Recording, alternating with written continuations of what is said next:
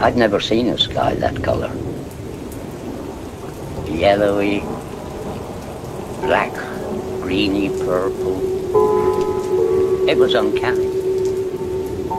Oh, it was a day and a night that we shall never ever forget. I couldn't believe that this was happening. First the sky, and then this horrible smell. Really sulphurous. Thunder and lightning, and it was horrible.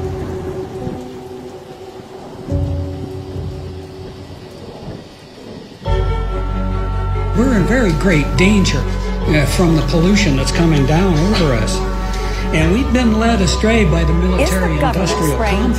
dangerous chemicals over us from Is the government experimenting with our That's the weather? question at the heart of a phenomenon called chemtrails, Chemtrails now getting referring to the widespread attention. trail left by aircraft Millions of tons of toxic poisons released by our confirmed that planes during the Cold War, the government United plot to States affect military climate change. conducted The government is up there in airplanes spraying all kinds of chemicals to change cities or manipulate the weather, leaving what you see there, and they call that a chemtrail. Geoengineering. They say it puts poison in the Tests show and high levels of these chemicals in our rain and soil. Using planes to spray chemicals into the atmosphere Heavy to manipulate or reflect the control. rays. the earth. And that's why health department records show a sharp increase in barium and aluminum in California's water supply. We shall propose further cooperative efforts between all the nations in weather prediction and eventually in weather control.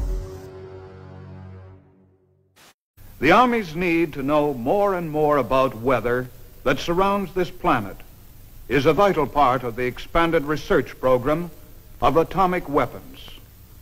We all talk about the weather. The Army is doing something about the weather.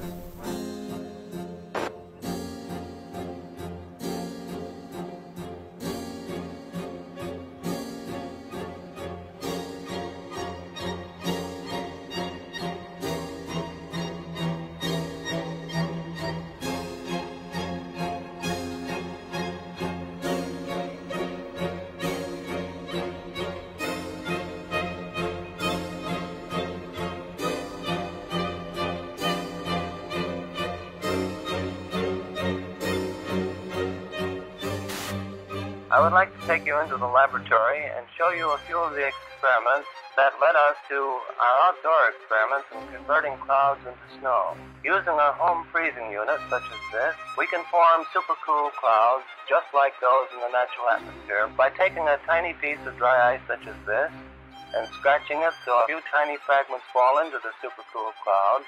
Long streaks develop the particles grow very fast. They grow about a billion fold in volume in a few seconds.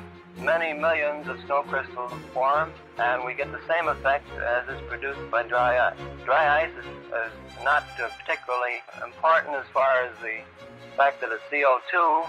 It is primarily important because